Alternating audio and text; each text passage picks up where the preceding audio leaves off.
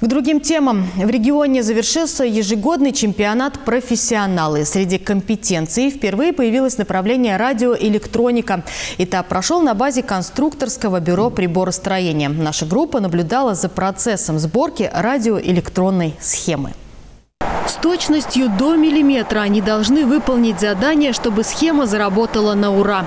Студент Артем Мартынов, как и остальные конкурсанты, трудятся над монтажом печатной платы. А вот я спаял всю элементную базу. Теперь мы проделываем с помощью проводов и переходных э, приспособлений э, цепь, по которой будет идти ток и будет работать наша схема. Если схема не заработает, участник обязан проанализировать и исправить неполадку. В направлении радиоэлектроника Ульяновск «Новатор» поспособствовала УКБП. Здесь планируют обучать монтажников радиоэлектронной аппаратуры. Студентка колледжа Наталья Зырянова в бюро приборостроения не в первый раз. Меня привели сюда. Привели? Да. И вы влюбились? Ну, понравилось, да. Решила остаться. Практике в этом цеху была. Для начала в компетенции участвует всего семь человек. За каждым этапом пристально следят эксперты из разных учреждений. Задание разбито на четыре этапа.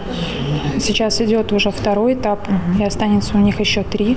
В общей сложности по времени прохождения всех этапов это 8 часов. Поэтому ребята уже с утра делают все, стараются и выполняют. Чемпионат рабочих профессий провели в регионе в 12 раз. С каждым годом появляются новые виды. В этом году всего 340 человек соревновались в 61 компетенции. Сложные соревнования обычно проходят, то есть три дня ребята соревнуются по 4 часа и демонстрируют как раз все навыки, умения, которые нужны в этой профессии. Все для того, чтобы поднимать престиж профессии и привлекать молодежь.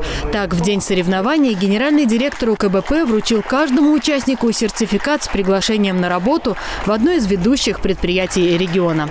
Ксения Грищенко, Дамир Губеев, Вести, Ульяновск.